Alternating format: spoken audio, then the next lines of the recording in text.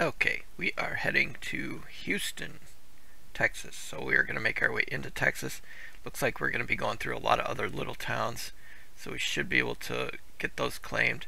And we're going to start our journey of hitting all these places. We might even come over into New Mexico a couple times because we got to get a few of these uh, locations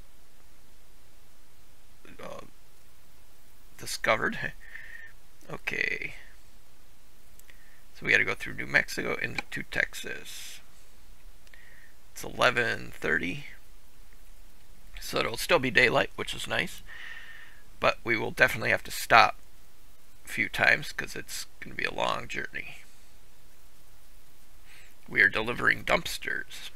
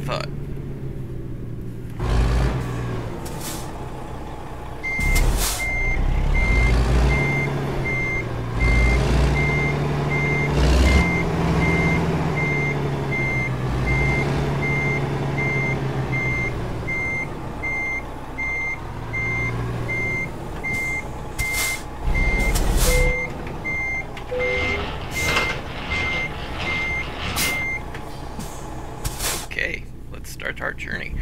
It's to be a long one. I,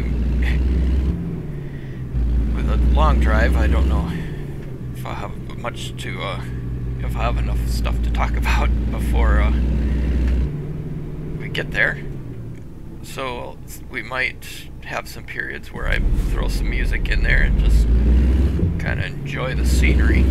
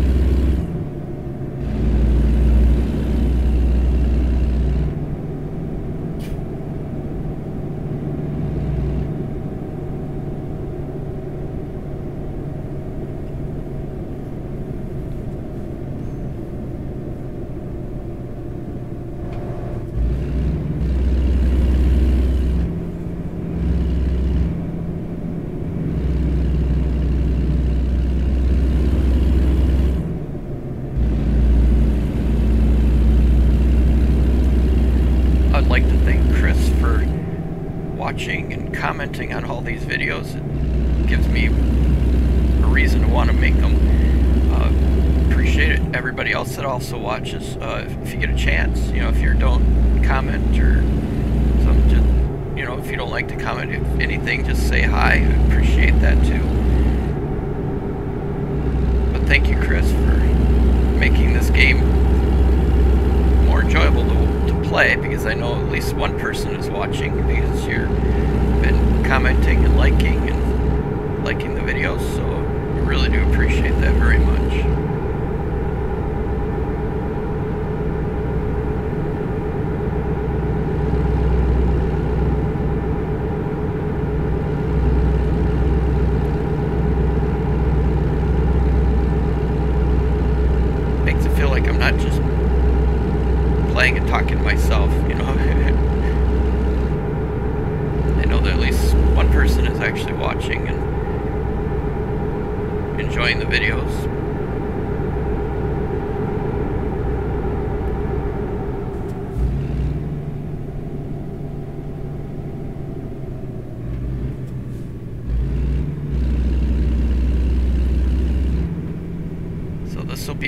first time into Texas since I got the DLC. So this will be interesting to see the area and stuff. see the area and not have to be in the heat. As you can see it says, what is that, 96 degrees out can imaginary have my air conditioning in the truck set at 68.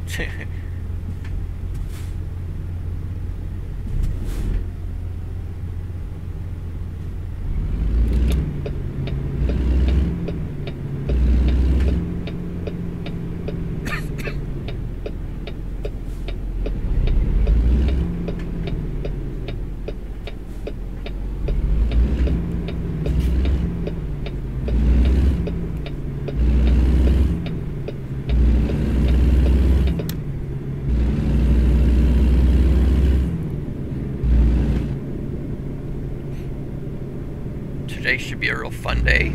Like, my cousins from Superior are coming down to clean up the cabin and stuff, get ready for the 4th of July when they come. Haven't got to see them for quite a while.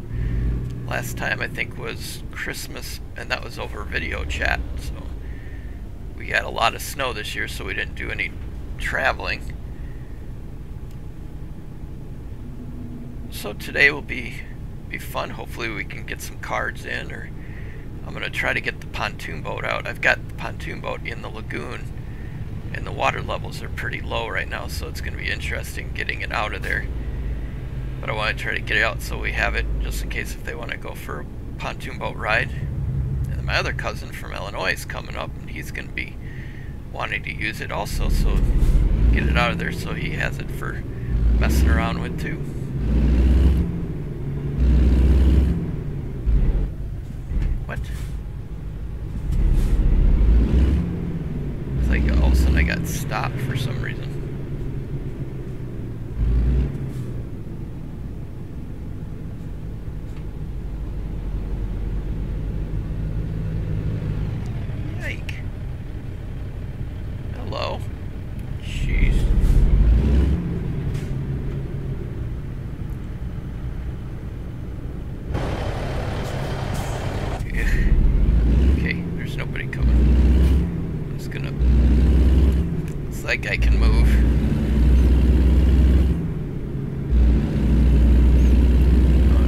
good gas. I did fill up last. I'm probably gonna be not too long before I'm gonna have to find somewhere to stop to sleep. Because I'm not really sure what my sleep level is at right now.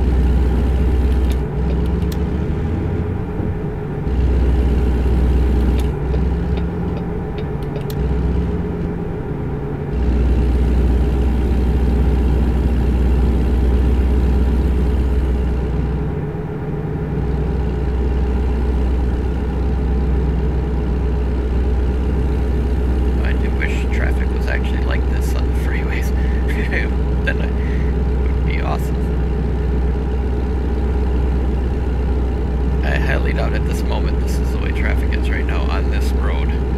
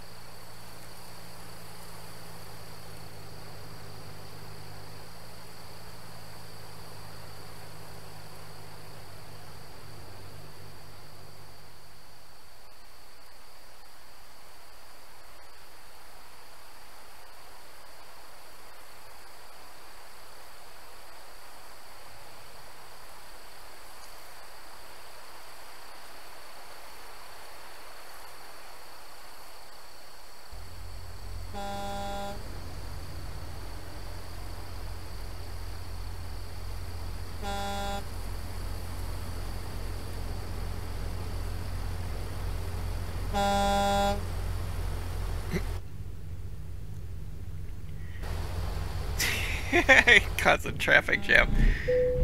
it's like, why did they put the, the viewing spot to where it would block traffic?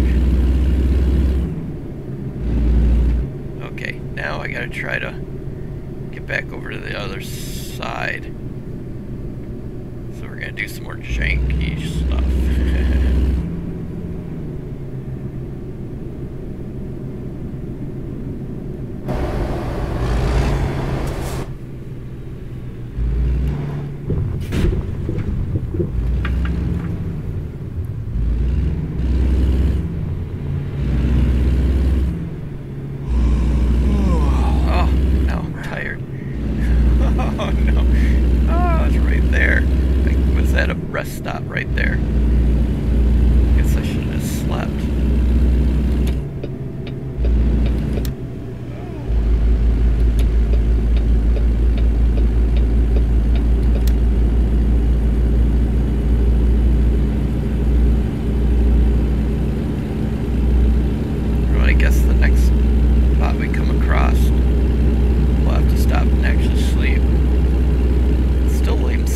early in the day though.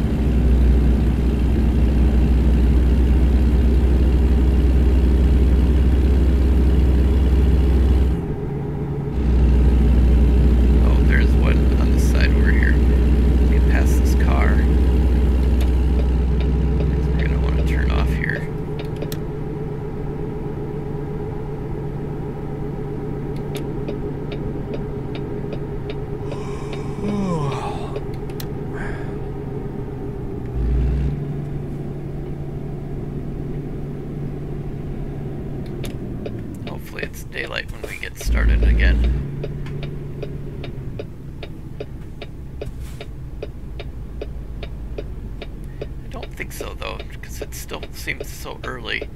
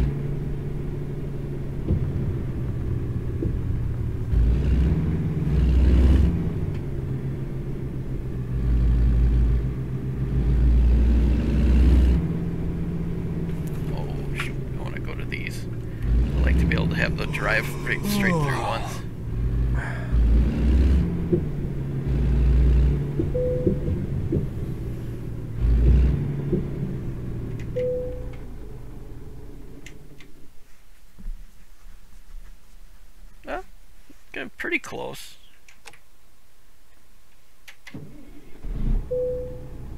Let's stop and get some gas over, over here.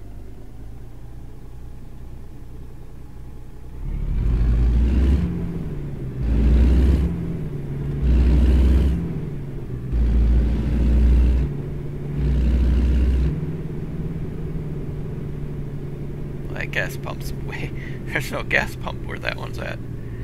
But they're still making it look like you're gonna fill up. Oh, I'm coming in the wrong direction, oh well.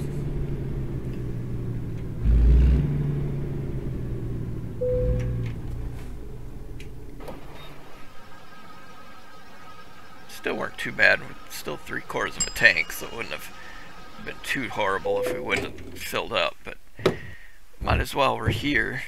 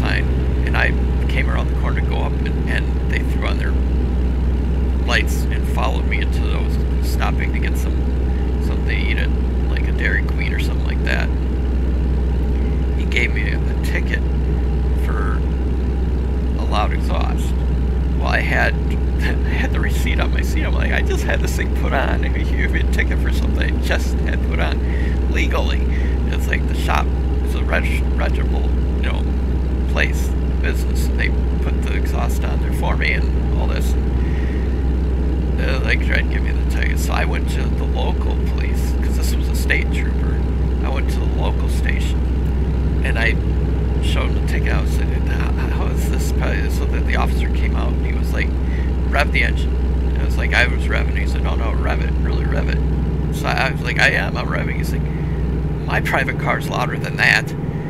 He said, well, they're just out for their quota. The state trooper is out for his quota this month. So he said, meet me at court when your appointment is, and I will, you know, I'll talk to the judge for you.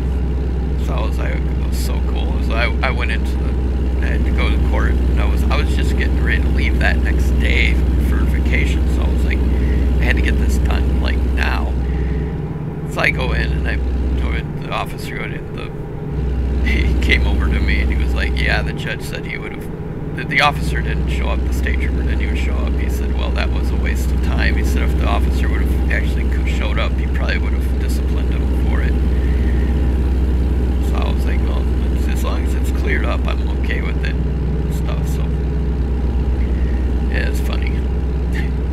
I just love it how the uh, how the officer was like, my private car's louder than that. I don't know what he was thinking of. I was like, well, it was probably because he had his window down. I was pulling around a corner with a little bit of an incline. He was stopped, and my exhaust pipe was probably right in the, right in his window.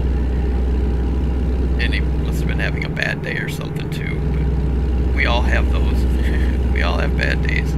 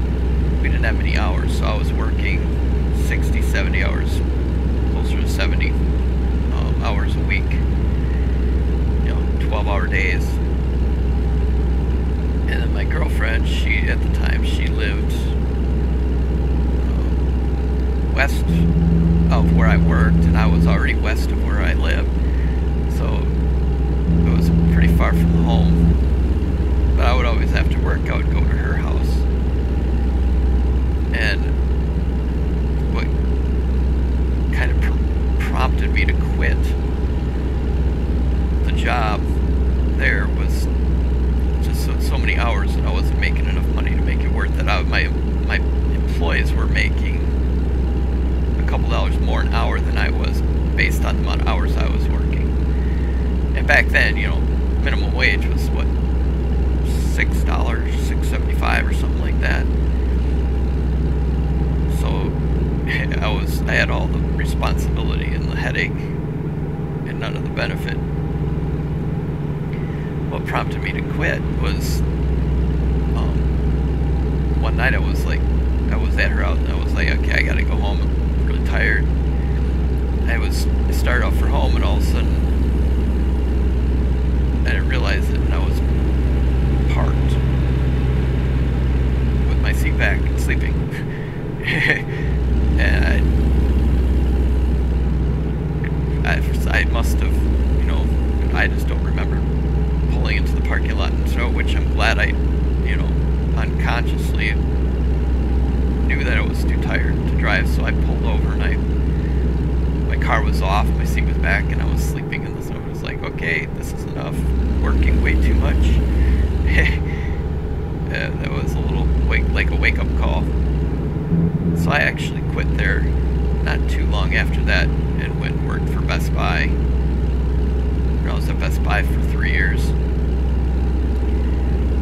Made a little less money when I first started, but I actually got hourly, and I was working, you know, making the money that I was working for, not like Suncoast where I was working on salary. They can really with when uh, when you're on salary.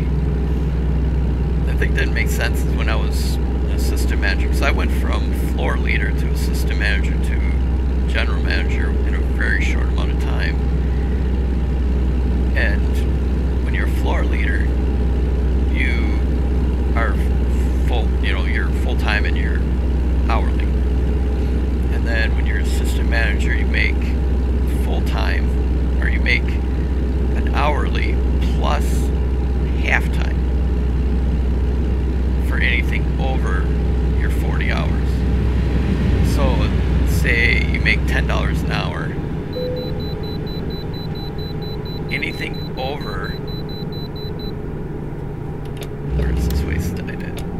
Anything over your 40 hours, you make another $5 an hour. So you're making $15 an hour. Which really doesn't make sense. Shoot, I was in the wrong in the wrong lane. I thought I could pull next to him, have two waste spots. But uh a little bit farther back.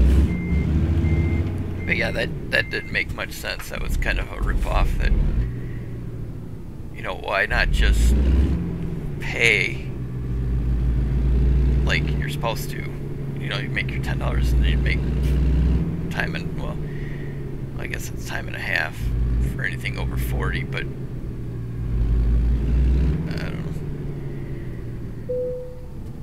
but you make a lot less. It just didn't, didn't really feel like it was made much sense to me at least.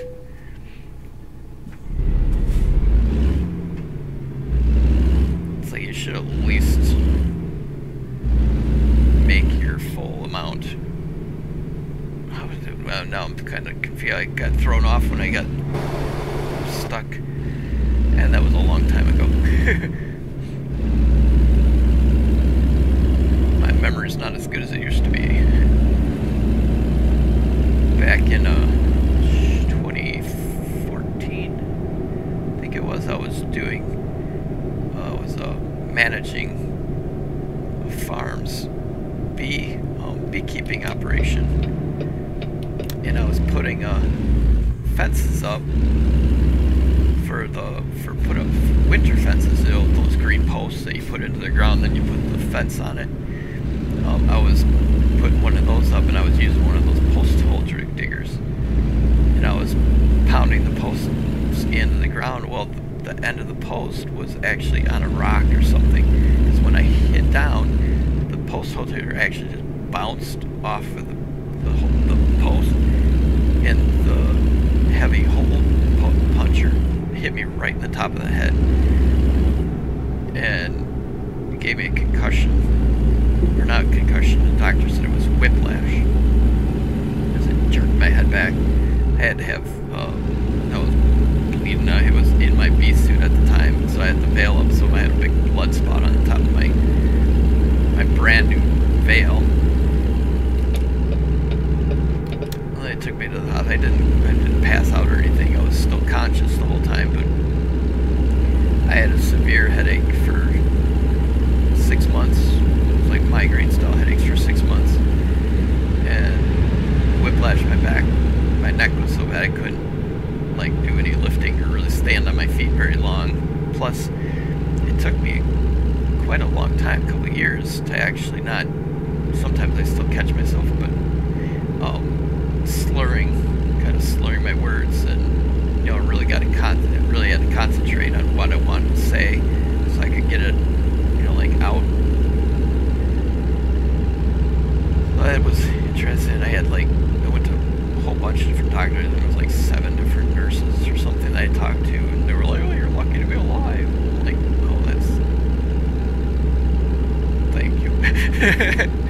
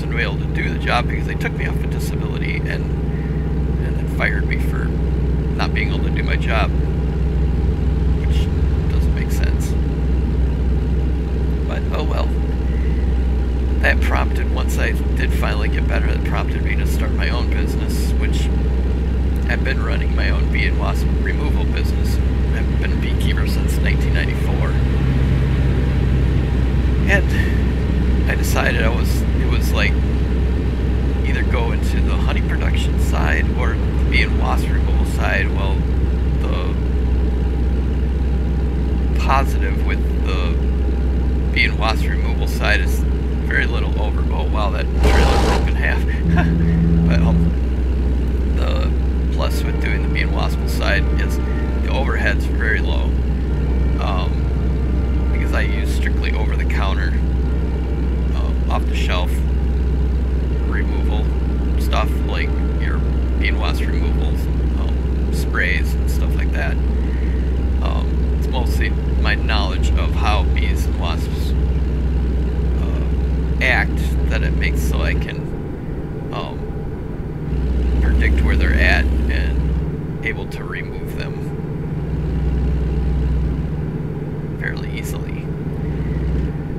But without the overhead, it makes running that business so much more profitable than doing the honey. Because, well, you go with the honey route, one, it was going to be like $500,000 to, to go commercial for the amount of bees I would need, the equipment I would need, the trucks, the, the facilities, things like that.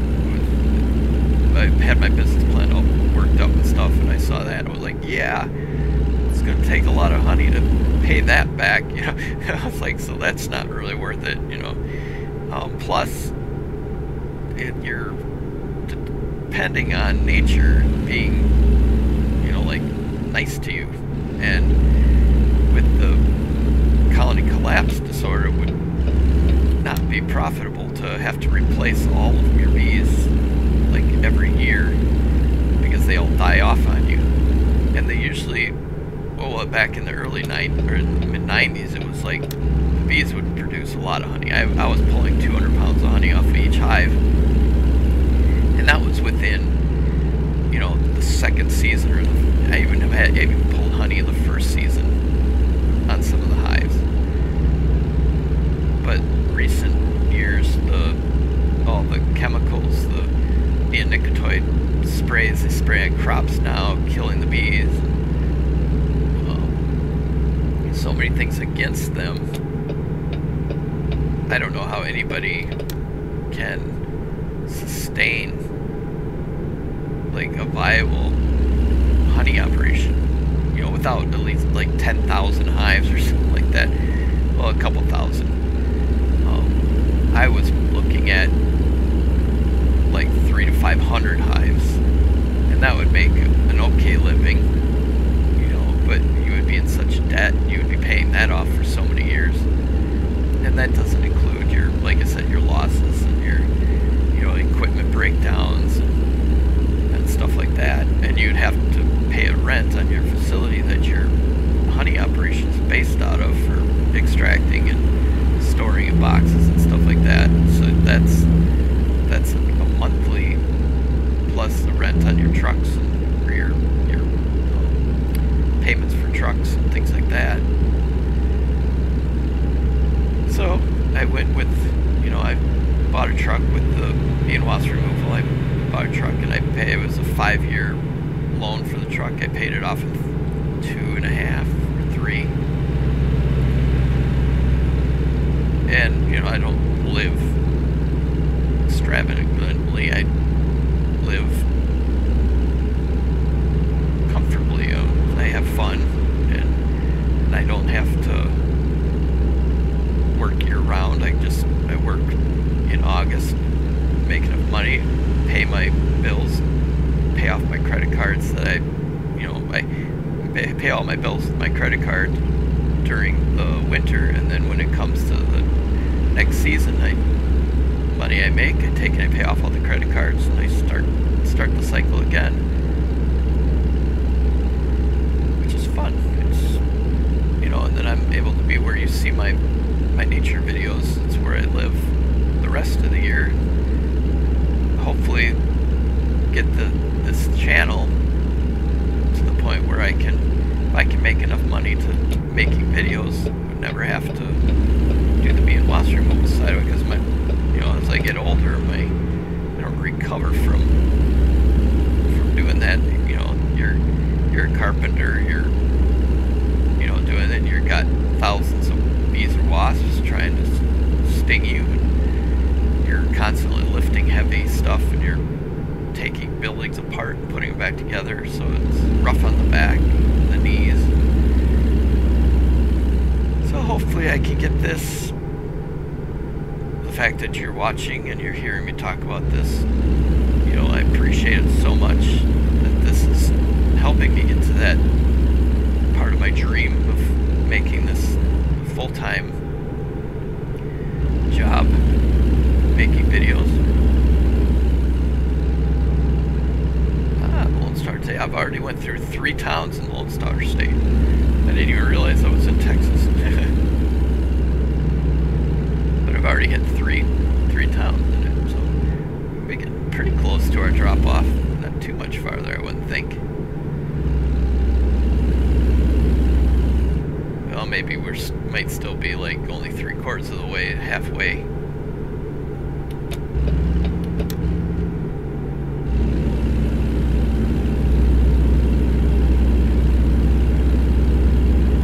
Sorry I haven't put out any fishing videos. I've been want to, but it's just the mosquitoes are so bad. It's it makes it not fun.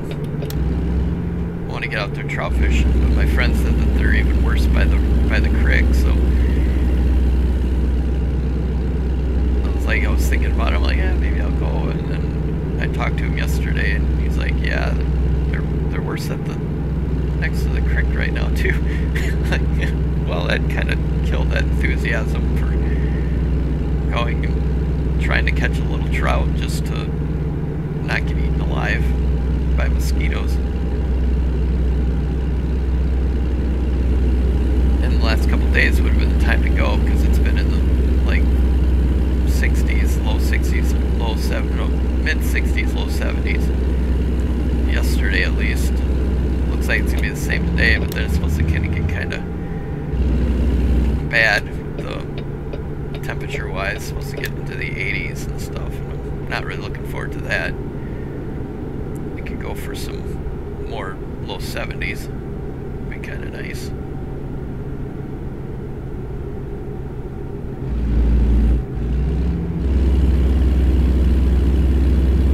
Sign said Dallas. Dallas Cowboys were my favorite team for for a while when I was in high school. I wasn't. I'm never really a sports fan I was more of a sports cards fan because I could make money in it. I would I would buy packs, and then I would go to school and I would uh, sell sell cards at school. I, I remember how much I made the first one year I did it. I know I bought my parents and my brother really nice Christmas presents that year. yeah, the thing, thing that stopped that was one of the guys I was showing the cards to uh, stole a bunch of them, and I didn't realize he stole them. And then he tried to sell them to one of my good friends. So my friend came to me, he was like, "Yeah, so and so just tried to sell me your cards." So the uh, security, the police officer in the school, got him back for me, got him out of his locker.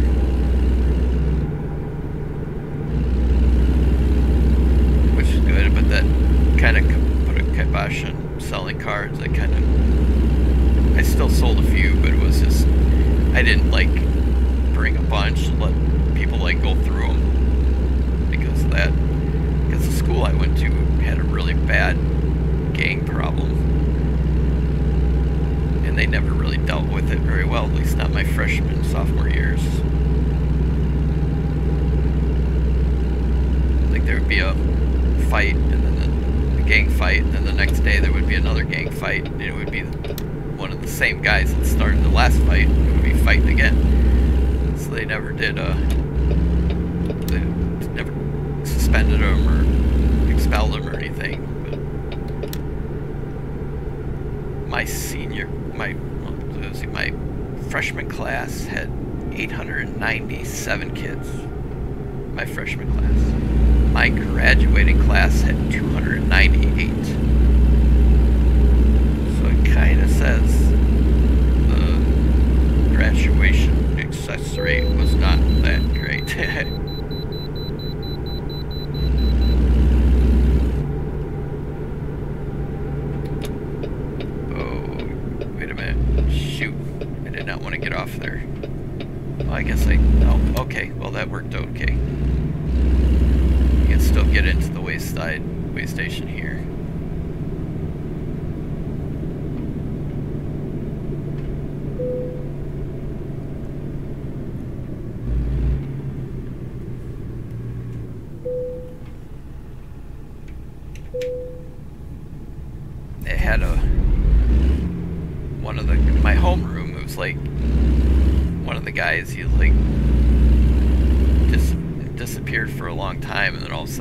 back and he was in a wheelchair because he got into a it was in a gang shooting or something like that. He got a drive by or something. It's like ugh.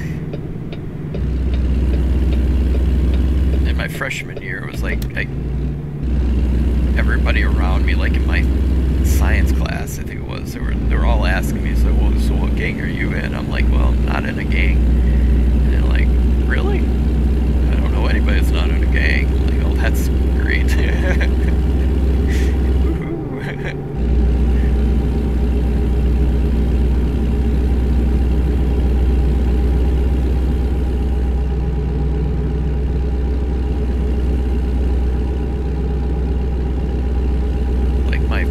I came from.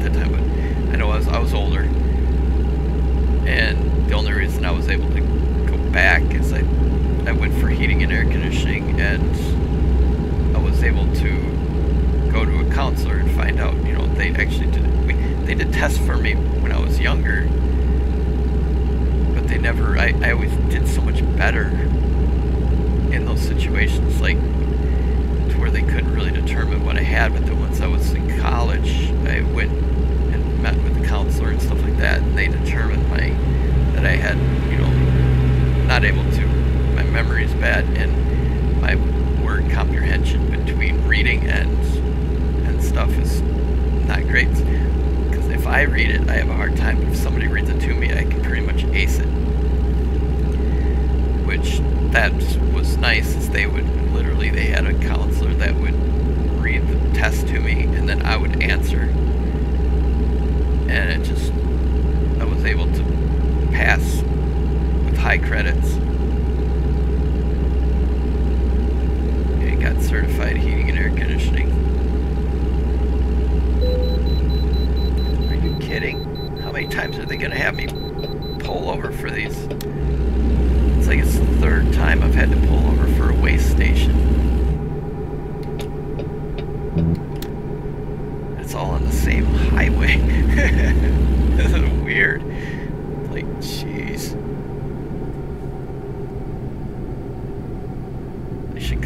communicate better between each of these stations.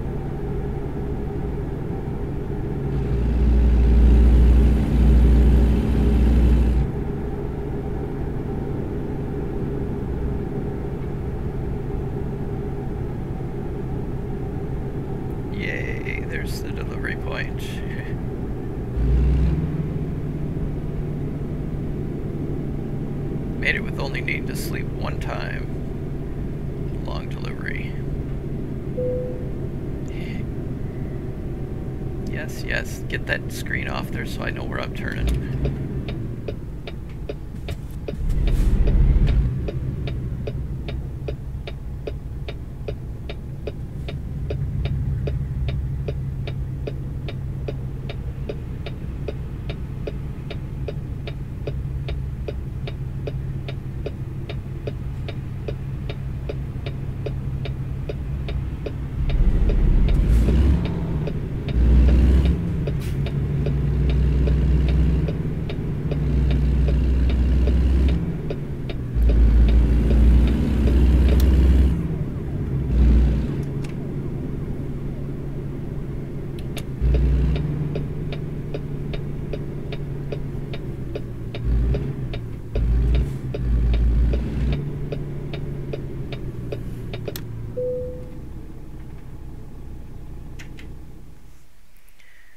Okay, let's see where they want us to park. Uh, I'm tired. I'm just gonna let them park it. Okay, excellent. Wow. That's the longest drive I've had in quite a while. 1,153 miles. Took 1 hour and 15 minutes. 157 gallons. 138 jobs. Well, that got me quite a bit of XP. The 2,300 XP on that made 680, six six thousand eight hundred and seventy-two dollars. And then we will have to find somewhere to sleep. I probably won't film that in the next episode. I'll just go sleep and then I'll start the episode. Okay, well, thank you so much for watching. as you can tell, I'm starting to lose my voice. um, have a great rest of your day, and I will talk to you in the comments.